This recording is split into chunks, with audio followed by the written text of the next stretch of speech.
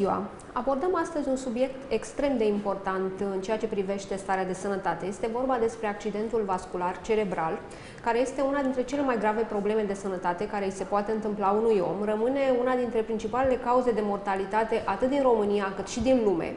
Însă, din uh, fericire, în anumite situații, dacă se intervine la timp cu cele mai uh, bune tratamente și cele mai bune proceduri medicale, uh, viața poate fi salvată. Iar pentru a afla ce se poate face în cazul accidentului vascular cerebral, am venit la medicul specialist neurochirurg Dorin Bică, cel care ne va lămuri asupra procedurilor și asupra protocolelor de ultimă generație în ceea ce privește abordarea accidentului vascular cerebral. Bună ziua, domnule doctor! Bună ziua, mulțumesc pentru invitație. Uh, este adevărat ceea ce am spus, rămâne accidentul vascular cerebral una dintre cele mai mari provocări pentru un uh, medic neurochirurg? Da, este adevărat. Uh, este o provocare pentru neurochirurg și mai ales pentru, pentru neurologi.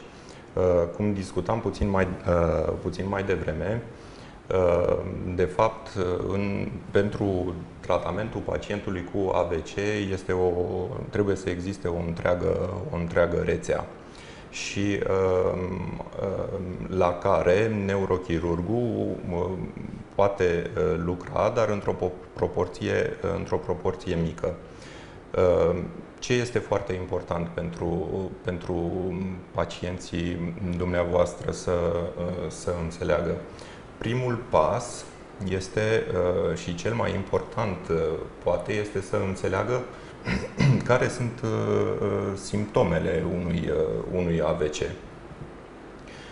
Uneori, simptomele AVC-ului sunt foarte, foarte importante. O hemiplegie sau brusc o comă, bineînțeles, atunci pacientul sună la 112 și lucrurile apar, vin cei de la ambulanță, smurd și ajunge într-un, într-un spital. Problema este ce se întâmplă atunci când simptomele sunt mai puțin evidente și Organizația Mondială a Sănătății a demonstrat că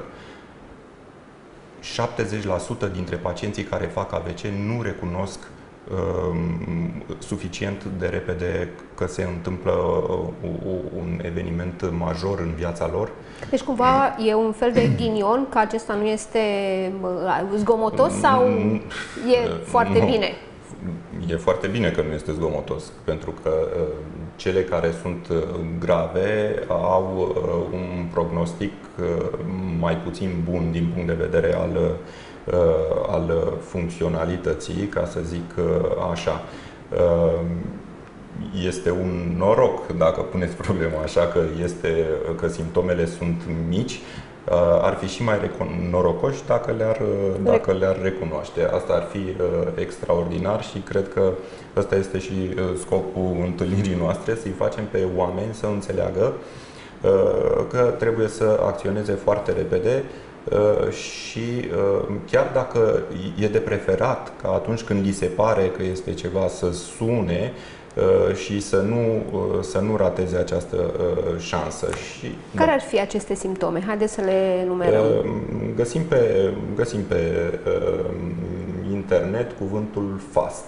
Da? Fast din engleză, repede. Trebuie să sunăm repede. Dacă pe față apare o mică pareză, adică pur și simplu gura îi se lasă pacientului în dreapta sau uh, în stânga. Acesta este un simptom. Uh, apoi, uh, o problemă poate fi că bilater, nu există o simetrie între forța între mâna stângă și dreaptă, una din sau la picioare, una dintre unul dintre membre este mai slab, cu debut brusc. Aceste probleme se instalează brusc, dar m-am trezit cu această problemă sau eram pe stradă și am fost un pic amețit și mi s-a lăsat uh, partea dreaptă a, uh, a gurii.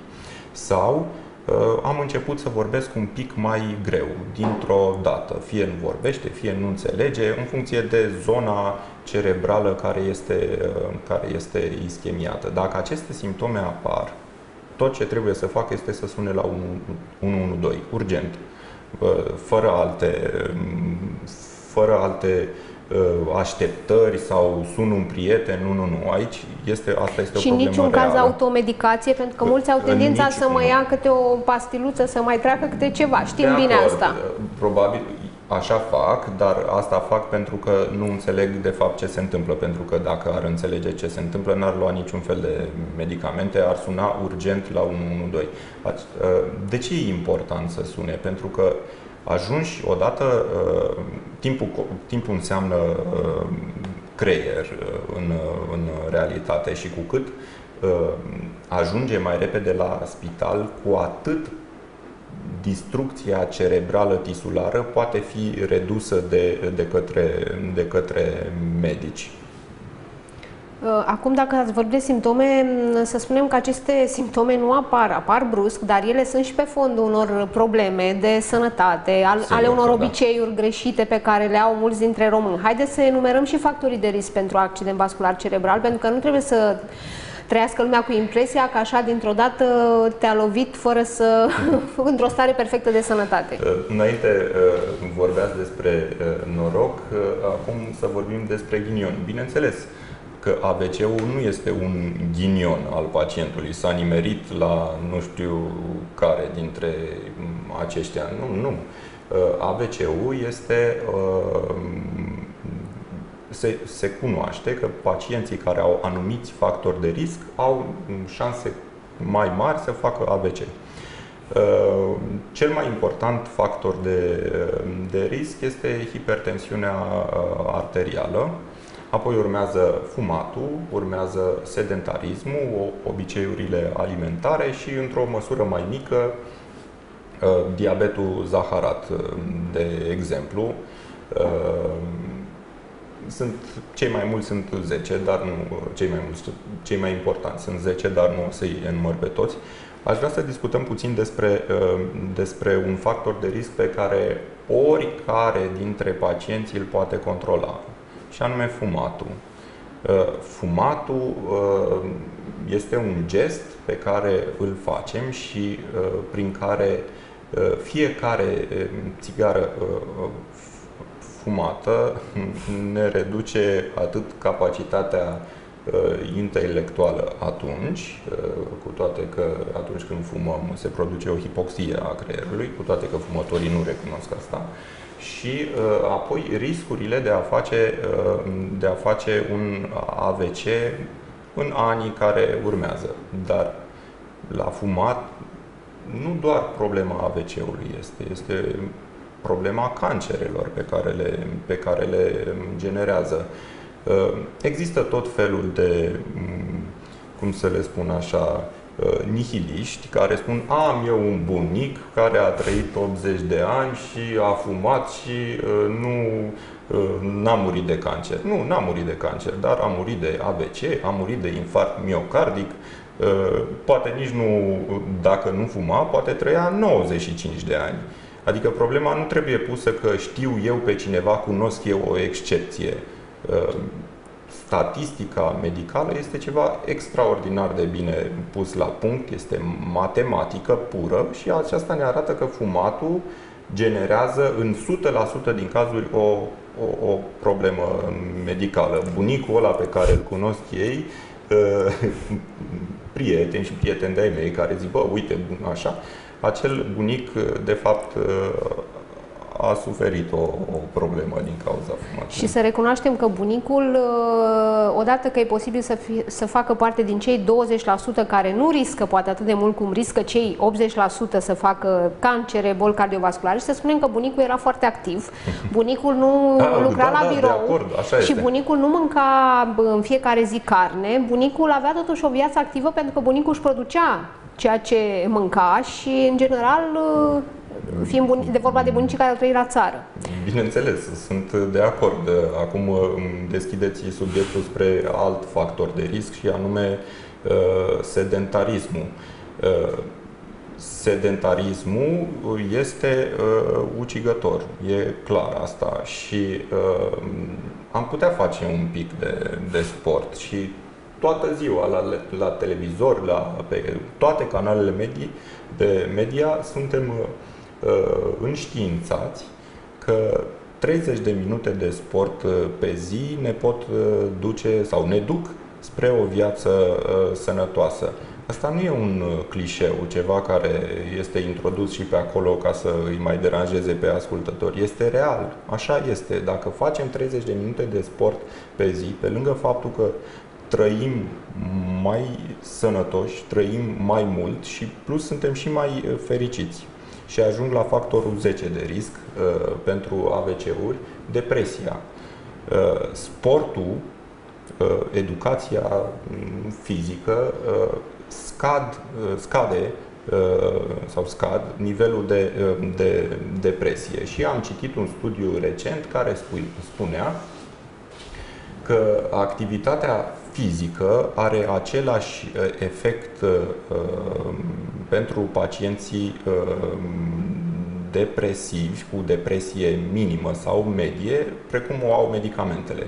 Deci, în loc să, dacă ai o depresie, un sindrom anxiodepresiv, în loc să uh, iei un, două, trei medicamente, mai bine ai alerga și ai exact același efect. Asta este ceva, o, o informație foarte importantă pentru, pentru pacienți.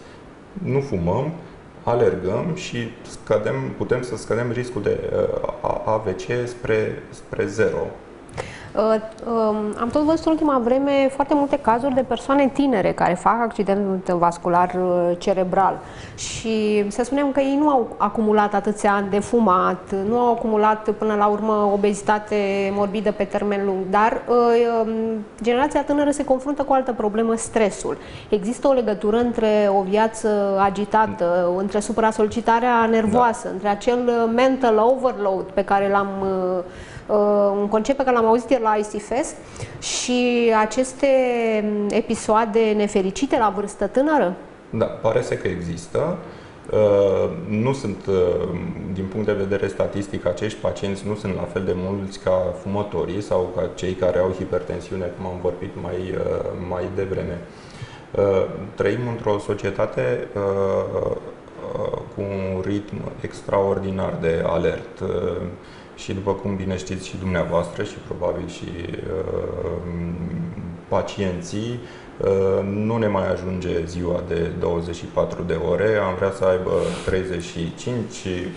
35-40 de ore dacă s-ar uh, putea. Și sacrificăm somnul de obicei și asta e altă problemă, probabil, uh, odihna odihna uh, o sacrificăm, nu ne face nimeni statuie în fața firmei sau în fața locului de muncă. Trebuie să știm să spunem și nu la acest ritm uh, alert. Trebuie să lucrăm în ritmul nostru și nu al uh, altuia și să, să ne luăm acele zile de pauză care sunt, care sunt foarte necesare. De exemplu, un lucru pe care eu nu-l fac în realitate, muncesc de câțiva ani în continuu. Mai am câte o vacanță, dar mică. Deci dau sfaturi, dar în realitate nu le, nu le eu nu fac asta. În schimb, mai fac sport, ceea ce îmi schimbă un pic starea mentală și nu, nu fumez. Uh, hipertensiune arterială nu am, uh, obez uh, nu sunt, nu am nicio boală cardiovasculară, nu am diabet zaharat, riscul meu de a face AVC este destul de redus. Am doar stresul ca și punct, ca și, ca și, factor, ca și factor de risc. Așa, ca să dau un exemplu concret ce înseamnă asta. Dacă aș fuma, și uh, mi-ar crește riscul cu 10%, dacă aș avea hipertensiune cu 40%. Deci probabil că cu doi factori de risc în plus aș avea un risc, uh, ar, ar fi aproape o certitudine că fac AVC în următorii 10 uh, ani. Așa nu fac. Uh, apropo de, de hipertensiune, haideți să le spunem uh, celor care se uită acum și care vor vedea interviul poate mai târziu pe site, care este valoarea, valoarea tensiunii arteriale care ar trebui să ne îngrijoreze, pentru că mă gândesc că nu toată lumea este diagnosticată cu hipertensiune uh, și poate că sunt acele valori pe care le neglijăm sau le ducem Am ani înțeles. de zile și care pot, nu știu, într-un final să înțeles. ducă către un necaz de genul accident vascular Aș cerebral. Vrea să, uh, să distrugem un mit uh, și anume hipertensiunea arterială cu, cu cât creștem în vârstă, nu înseamnă că trebuie să ne crească și tensiunea arterială și uh, la 90 de ani 15 cu 10 e bine. Nu, nu e bine. Valorile tensiunii arteriale prezentate de Organizația Mondială a Sănătății, de cardiologi, de medici de familie, nu sunt dependente de vârstă. Deci la 90 de ani, uh, pentru pacientul care are 90 de ani, hipertensiunea arterială uh, este în aceleași uh, categorii sau în aceleași intervale cum este pentru pacientul de 20 de ani. Deci, deja de la o tensiune care depășește 13 cu 9 da, sau 130 cu 90 de mm mercur, Uh, trebuie să ne punem o problemă. 14 cu 8 e, o, e deja o, o problemă uh, și trebuie uh, investigată. Acum, dacă un pacient are 60 de ani și are 14 cu 9, merge la cardiolog sau la medicul de familie și se începe un tratament pentru tensiune arterială. La 20 de ani, în schimb, Uh, nu mai vorbim despre o hipertensiune arterială primară sau esențială, ci vorbim despre o hipertensiune, posibil despre o hipertensiune secundară. Ce înseamnă asta? Înseamnă că există cumva posibilitatea ca uh, să descoperim o oarecare boală care să-i genereze pacientului uh, Uh, această hipertensiune și de, de acest lucru se ocupă foarte bine cardiologii, adică uh, nu trebuie să ignorăm această limită a 14 mm, cu 8 merge și așa, nu, nu merge și așa, pe, pentru că o putem trata și astăzi uh, datorită protocolelor și algoritmilor de, de tratament, ghidurilor de, de tratament, uh, hipertensiunea arterială e tratată și investigată foarte bine. Deci... Și implicit uh, scade și riscul de accident vascular cerebral pe termen lung, deoarece am, uh, Clar, să zicem, am redus un, unul dintre... 42% dintre pacienții cu AVC sunt uh, hipertensivi. Uh, sau invers spus, da? hipertensiunea AVC-ul este uh, cauzat în 42% de cazuri de hipertensiune, deci un risc uh, foarte, foarte mare. Uh, dacă tot ați vorbit de valori, haideți să le spunem oamenilor și la, apropo de colesterol și de trigliceride, există și valori ale grăsimilor din sânge care tot așa ar trebui cumva luate în serios pentru a reduce acest risc de accident vascular cerebral? Sigur că da, da, și fac parte, um, um, aceste hipercolesterolemii fac parte din, uh, din cei 10 factori de risc despre care am, uh, despre care am vorbit. Am putea, uh, am putea să corectăm acest factor de, de risc. Este demonstrat că dieta mediteraneană este um, generează cel mai bun colesterol, ca să spun, ca să spun lucrurile așa. Știm bine că italienii trăiesc uh, mai mult, au o speranță de viață mai uh, ridicată, uh, datorită în special acestei diete mediteraneene. Din păcate, în România, dieta este într-un fel continentală, să-i spun așa, conține foarte multe, foarte multe grăsimi este de înțeles, uh, ținând cont de um, istoricul nostru ca uh, popor, uh, nu aveai de unde să faci rost de măsline acum 100 de ani, dar acum ai de unde să faci rost. Și atunci cred că sunt magazine peste tot, cred că am putea cumva să ne schimbăm felul de a de a mânca. Plus că și vremea, totuși, încălzirea globală a dus și la schimbarea, da, pentru că trăiam în vremuri temperate, să zic așa, iar acum chiar uh, avem perioade mult mai calde și mult mai lungi în timpul anului, perioade de vreme caldă și automat uh, nu mai avem nevoie de atâtea grăsime animale singurele care ne-au ajutat până la urmă să, să supraviețuim în uh, de-a lungul este timpului. Ade- este adevărat. Plus că suntem mai sedentari. Acord. Asta e o altă discuție și nu mai avem nevoie de același aport uh, asta caloric. Este, da, asta este o problemă reală. Sedentarismul uh, nu generează doar AVC, sedentarismul generează da, sau este factor de risc pentru foarte multe, foarte multe probleme. Generează, generează el în sine, dar apar boli cardiovasculare, o inimă antrenată uh, te poate, îți poate duce organismul 90 de ani. În principiu lucrurile sunt uh, simple. Orice țesut uh, care nu este viu, orice țesut viu care nu este folosit, se atrofiază. Creierul, da, deci dacă nu citim, creierul se atrofiază, inima, nu, nu alergăm, inima devine foarte slabă și susceptibilă unor, unor, unor boli. Oricum, numitorul comun al longevivilor din toată lumea, indiferent de dietă, rămâne mișcarea, ce am observat. Asta este un numitor comun da. și, mă rog, și, într-adevăr, în ultima vreme, meditația, relaxarea, niște tehnici mai avansate de, să spunem, de relaxare, pot fi de mare folos. O altă întrebare pe care voiam să-mi pun este cum arată vasele de sânge ale unui om care are și hipertensiune, și fumează, are și grăsimi depuse pe, pe vase? Cum, Vă șochează când vedeți, uh, uh, să spunem, filmele investigațiilor?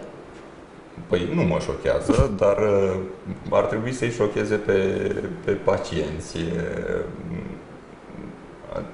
Sunt medic, nu mă șochează lucrurile astea, asta, așa în felul ăsta vreau să, vreau să Uh, răspund. Uh, dar, uh, din păcate, pe pacienți nu îi impresionează foarte tare și ar, ar trebui, adică am unele consultații în care vin pacienții cu, de exemplu, o mm, tumoră cerebrală benignă și de multe ori le spun că această tumoră o să o operez, totul e ok, doar că nu e cea mai mare problemă a pacientului și cea mai mare problemă a sa este această uh,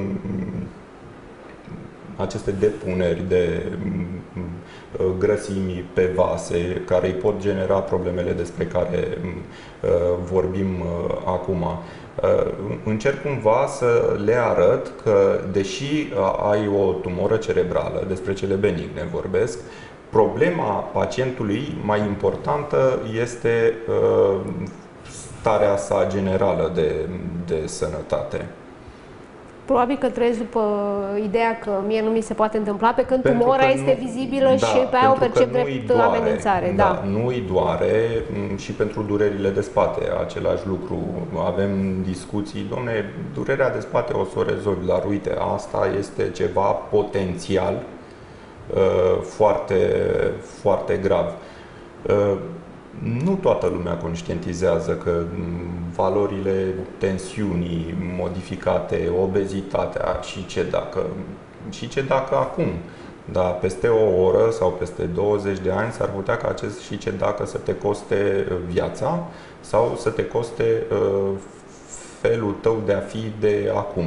Apare o hemipareză, apare o cecitate, o și asta, asta e un alt aspect care ar putea să-i motiveze să fie mai uh, atenți, uh, este faptul că aceste accidente vasculare cerebrale pot duce la, uh, să spunem, uh, situația în care pacientul devine dependent de familie, nu-și mai poate îndeplini activitățile de bază, să meargă, să mănânce, cumva, uh, ajunge să aibă nevoie de un însoțitor și atunci aceasta înseamnă, pe lângă probleme de sănătate, dar și costuri uh, ridicate pentru a putea supraviețui. Uh, există, acum întrebarea care se pune este, există tratamente și terapii care pot salva viața și pot ajuta pacienții să ducă o viață normală în continuare după un episod de accident vascular cerebral? Cel mai bun tratament este uh, profilaxia.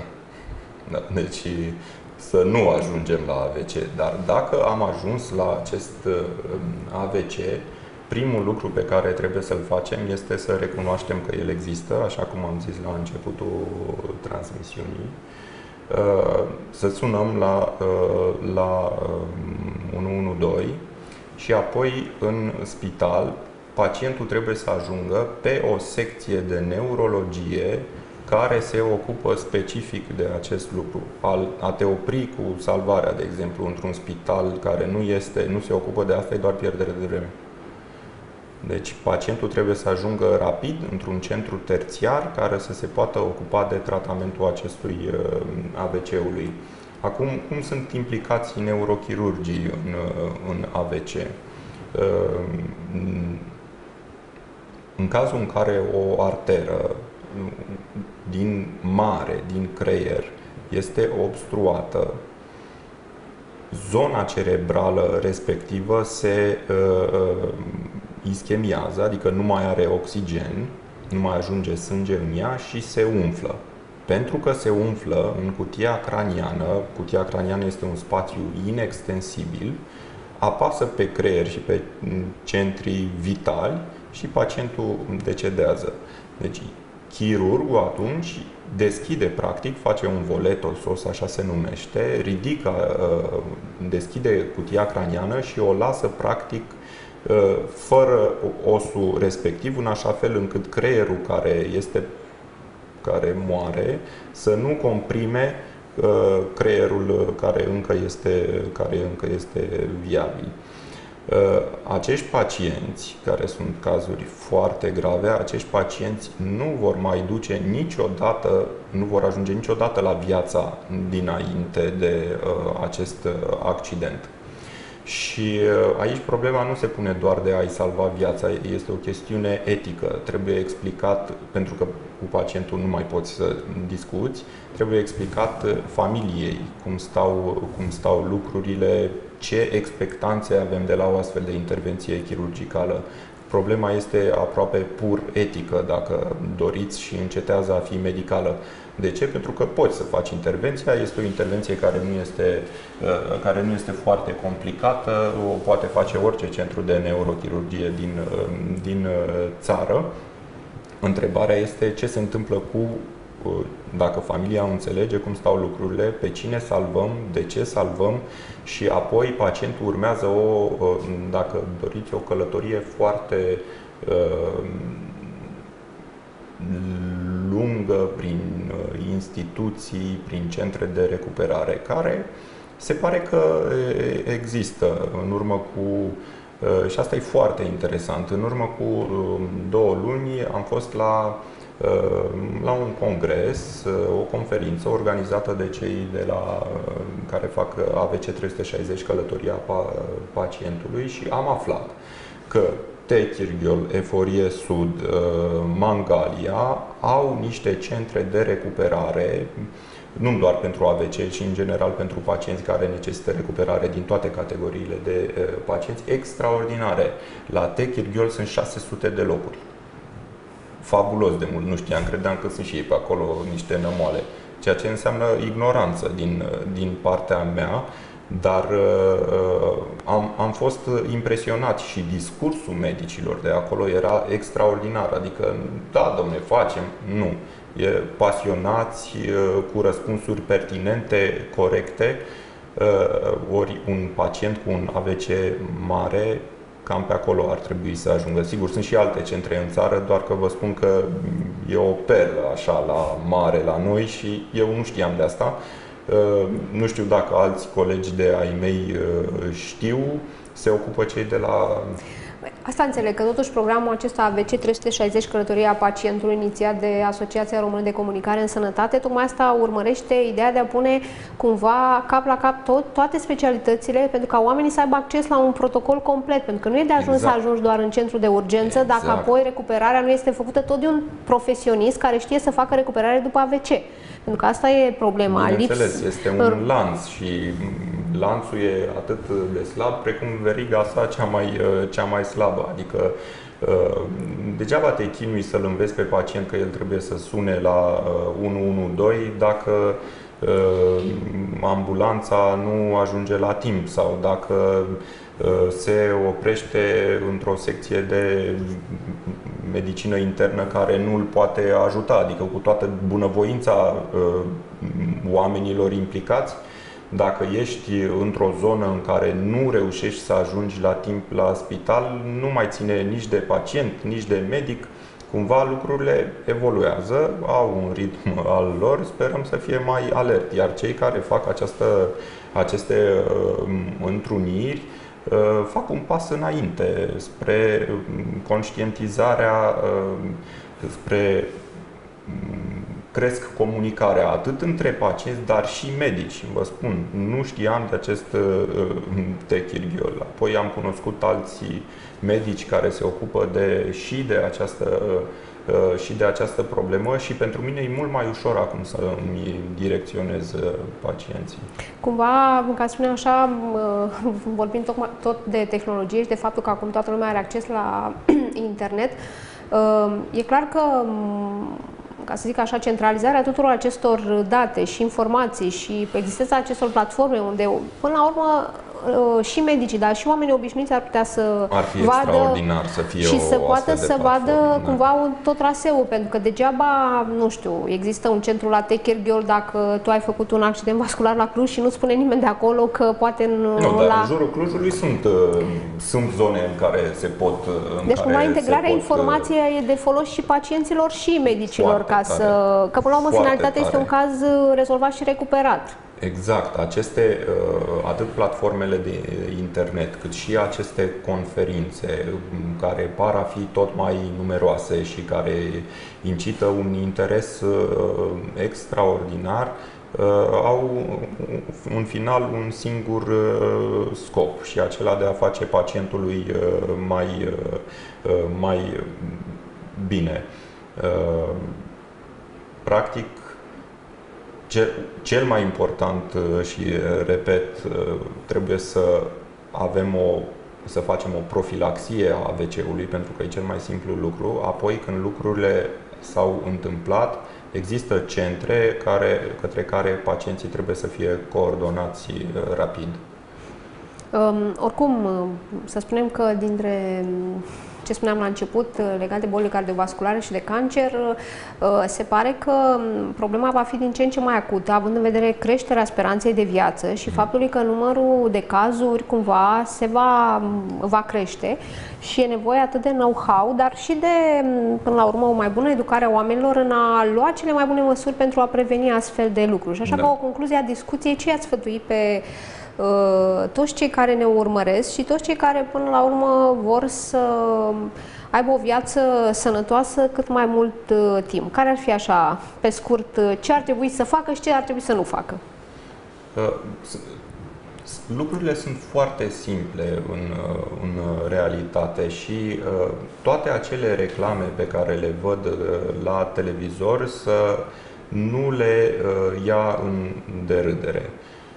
Stop fumatului, da pentru uh, alergat, da pentru o dietă uh, sănătoasă și în felul ăsta am redus cu 50% riscul de uh, AVC. Da, mergeți la medic, chiar dacă vi se pare că este o problemă, e mult mai uh, puțin nociv să faci o vizită uh, degeaba Uh, decât să uh, stai acasă și să aștepți să întrebi vecinul, moi am sau n-am pareză, ți se pare că vorbesc mai greu sau nu ți se pare. Nu, trebuie acționat, trebuie să acționeze uh, foarte, foarte rapid și să slăbească, dacă și au kilograme în plus? Bineînțeles, păi dieta este foarte, este foarte importantă. Și alcoolul? Uh, și alcoolul uh, uh, crește riscul cu 5%. Deci, absolut, uh, uh, orice m-ați întrebat din aceste lucruri care știm bine că nu sunt în regulă, uh, o să vă spun că și asta trebuie controlat. Și atenție la alcool, asta nu înseamnă că nu mai beau un pahar de vin roșu. Nu, dar uh, asta e una care poți într-o anumită formă să-l consideri vinul roșu un aliment și alta e să bei o sticlă pe, pe zi. Aia e cu totul altceva. Deja aici trecem într-o discuție a patologicului și uh,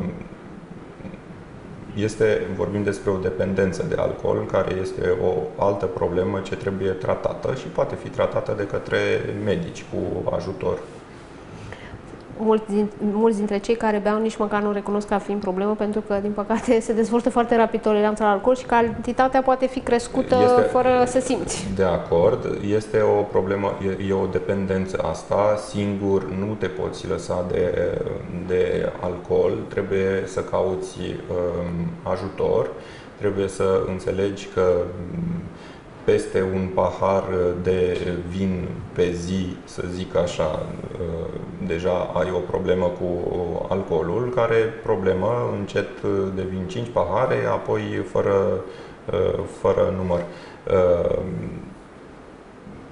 Aveți dreptate, cei care au această problemă nu recunosc că au, au avea și trebuie să caute ajutor medical în general.